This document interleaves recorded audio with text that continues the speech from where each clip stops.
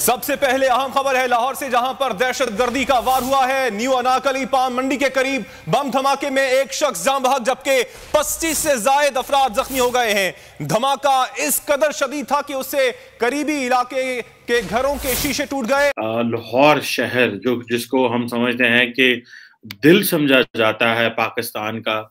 उसमें दहशत गर्दों ने एक टाइम बॉम्ब की डिवाइस के साथ हमला किया है। लाहौर शहर के बीचों बीच धमाका हुआ है जिसमें इस वक्त तक तीन हलाकतों की इतलात हैं जबकि जख्मियों की तादाद इस वक्त बहुत बड़ी है। जो तहरीक तालिबान पाकिस्तान है टीटीपी उन्होंने उनका आप कॉन्फिडेंस चेक करें कि वो उन्होंने रिसेंटली यूनिलेटरली ये कह दिया था कि हम जो है वो सीज फायर को खत्म कर रहे हैं पाकिस्तान की गवर्नमेंट के साथ। अब हमारे इंटीरियर मिनिस्टर साहब भी यही कह रहे हैं जनाब के पाकिस्तान को बड़ा सीरियस खतरा है टीटीपी से। हर काम करो हम पे बिजली गिरा दो हम पे पेट्रोल बम गिराओ हम पे झूठ बम गिराओ हम पर पाबंदियाँ लगाओ हमें बिजली ना दो हमें तेल ना दो हमें पानी ना दो हमें तालीम ना दो हमें सेहत ना दो। पाकिस्तान के लिए ये रिपोर्ट इस वजह से तशवीशनाक है कि खत्े के दीगर ममालिक पाकिस्तान से ज़्यादा तरक्की कर रहे हैं। रिपोर्ट के मुताबिक हिंदुस्तान आठ अशारिया सात फ़ीसद बांग्लादेश छह अशारिया चार फ़ीसद भूटान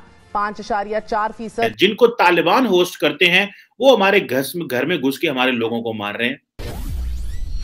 जय हिंद दोस्तों very warm welcome to Hindustan special channel Pakistan के लाहौर में बहुत बड़ा बम धमाका हुआ है। सूत्रों के अनुसार चार लोगों की जान चली गई है लेकिन इस धमाके में 25 से ज़्यादा लोग गंभीर रूप से जख्मी हुए हैं।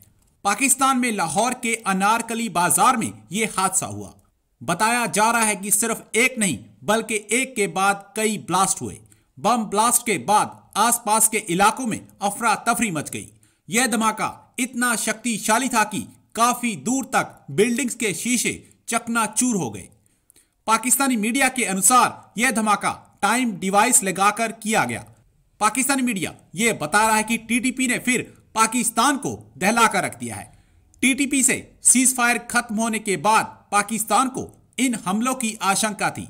आज की वीडियो में पाकिस्तानी मीडिया ने और क्या कहा? तो चलिए दोस्तों, आज की वीडियो की तरफ़ चलते हैं। थैंक यू सो मच ये एक बड़ी डेवलपमेंट हुई है कि पाकिस्तान के अंदर लाहौर शहर, जो, जिसको हम समझते हैं कि दिल समझा जाता है पाकिस्तान का। उसमें दहशत गर्दों ने एक टाइम बॉम्ब की डिवाइस के साथ हमला किया है। बेसिकली थोड़े दिन पहले, दो दिन पहले हमने बात की थी, बल्कि कल ही मैंने आई थिंक आपसे डिस्कस किया था कि जो तहरीक तालिबान पाकिस्तान है टीटीपी उन्होंने उनका आप कॉन्फिडेंस चेक करें कि वो उन्होंने रिसेंटली यूनिलेटरली ये कह दिया था कि हम जो है वो सीज फायर को ख़त्म कर रहे हैं पाकिस्तान की गवर्नमेंट के साथ। अब हमारे इंटीरियर मिनिस्टर साहब भी यही कह रहे हैं, जनाब के पाकिस्तान को बड़ा सीरियस खतरा है टीटीपी से। हम क्या चाहते हैं? क्या हम टीटीपी से बात करना चाहते हैं या हम लड़ना चाहते हैं? हमने लड़ाई तो बहुत की है टीटीपी से। लेकिन प्रॉब्लम यह है कि जिन एक्टर्स को हम अफ़गानिस्तान में आज सपोर्ट कर रहे हैं, या जिनको हम पावर में, जो पावर में आए हैं और जिनकी हम दुनिया में मेन स्ट्रीमिंग की बात कर रहे हैं, जिनकी हम दुनिया में उनको एडवोकेसी की बात कर रहे हैं, वो तो इन दहशत गर्दों को होस्ट करके बैठे हुए हैं। सो ये जो सारी की सारी डिस्कशन है, ये तो इस्लामाबाद में बैठ के होनी है कि हमारा मुस्तकबिल क्या है?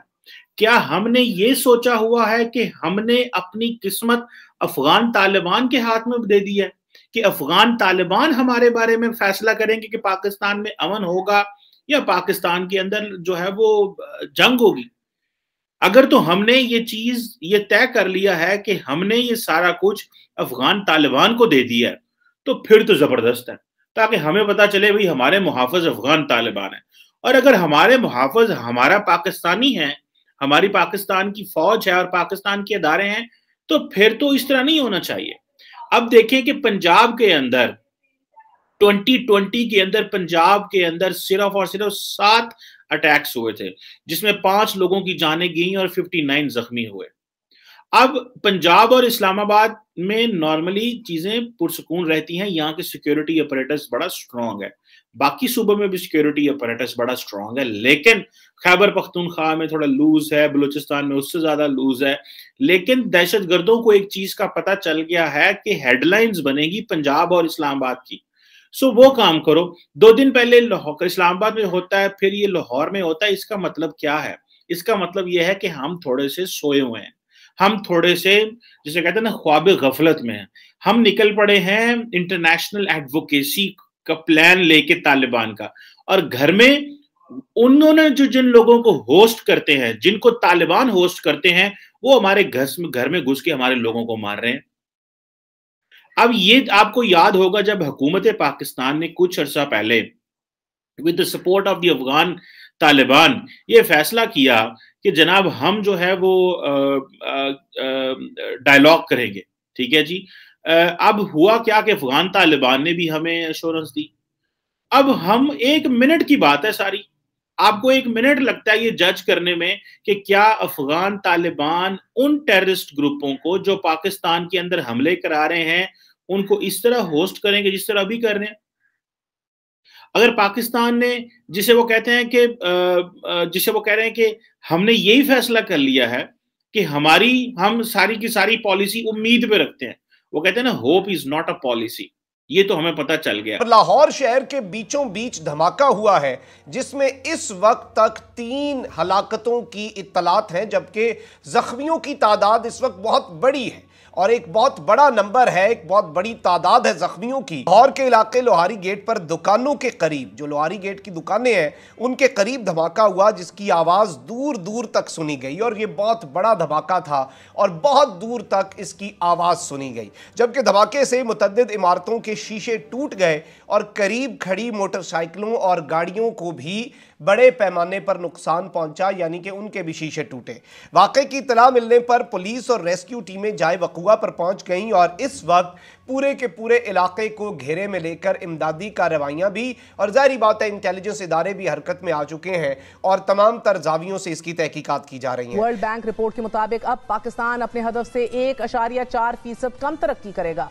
और ये पेशन गोई वर्ल्ड बैंक की ताज़ा तरीन ग्लोबल इकोनॉमिक प्रोस्पेक्ट्स रिपोर्ट 2022 में की गई है। पाकिस्तान के लिए ये रिपोर्ट इस वजह से तशवीशनाक है कि खत्े के दीगर ममालिक पाकिस्तान से ज़्यादा तरक्की कर रहे हैं। रिपोर्ट के मुताबिक हिंदुस्तान आठ अशारिया सात फ़ीसद, बांग्लादेश छह अशारिया चार फ़ीसद, भूटान पाँच अशारिया चार फ़ीसद और नेपाल तीन अशारिया नौ फ़ीसद से तरक्की करेगा, जबकि पाकिस्तान की तरक्की की रफ्तार सिर्फ़ श्रीलंका से बेहतर है। अगले साल बांग्लादेश छह अशारिया नौ, हिंदुस्तान आठ अशारिया सात, नेपाल चार अशारिया सात, जबकि पाकिस्तान चार फ़ीसद की रफ्तार से तरक्की करेगा। वज़ीर आज़म शायद रिकॉर्ड गिनवाते गिनवाते ये भूल गए कि पेट्रोल की कीमतें सर्कुलर डेट बिजली, गैस के नर्ख और डॉलर की कदर में भी तारीख के बुलंद तरीन रिकॉर्ड्स टूटे हैं। अब महँगाई से उठने वाला तूफ़ान काबीना का रुख कर चुका है। बुजरा काबीना के इजलास और ऐवान में होने वाले इजलासों में अपने ही जमात के बुजरा फट रहे हैं।